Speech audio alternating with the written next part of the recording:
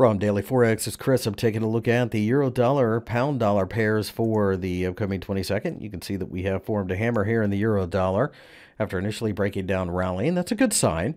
Uh, I think we probably bounce a bit from here, but this is going to be more of a dead cat bounce than anything else. This is simply a reaction to previous noise here.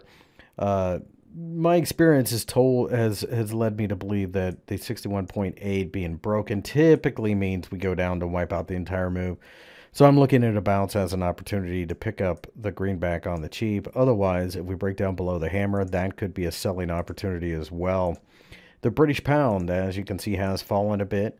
Uh, did find a little bit of support at 1.34. I think we break down below there. Uh, the uptrend line 135 both will cause resistance, so any rally is going to end up being a selling opportunity. 133 and then 130 are the targets.